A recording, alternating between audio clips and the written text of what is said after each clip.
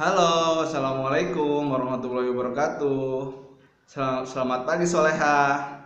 Mungkin kalian baru bertemu dengan Ustadz. Eh, sebelumnya baiklah kita perkenalkan diri dulu sebelumnya. Nama Ustadz adalah Muiz Abdul Aziz.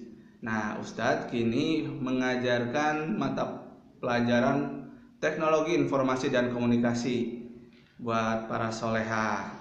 Nah, Hari ini kita akan belajar tentang bagaimana membuat dokumen. Oke, pertanyaannya dokumen itu apa sih?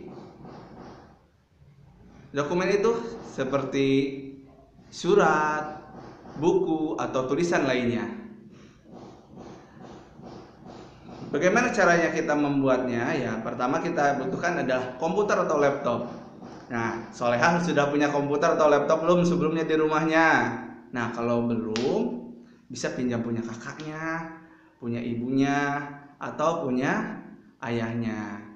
Nah, selanjutnya, setelah buka laptop, dinyalakan, ada aplikasi Microsoft Word. Ya, Microsoft Word ini yang seperti ini, yang ada huruf W-nya. Nah, kita klik. Nah, kalau sudah diklik, nanti ada tulisan file di samping di apa pojok kiri atas ya. Kita klik pojok kiri atas. Nah di di file itu ada new new nah new dokumen kita akan pilih yang blank kosong ya. Oke setelah kita pilih blank kosong nah soleha bisa memulai menulis dengan mengetik layout dulu. Nah di layout itu soleha bisa memilih ukuran kertasnya kertas apa yang digunakan? Contohnya kita seragam saja ya menggunakan A4 atau HBS nah kita gunakan seragam ukuran A4 nah setelah itu kita uh, klik yang ukuran kertas atau klik paper.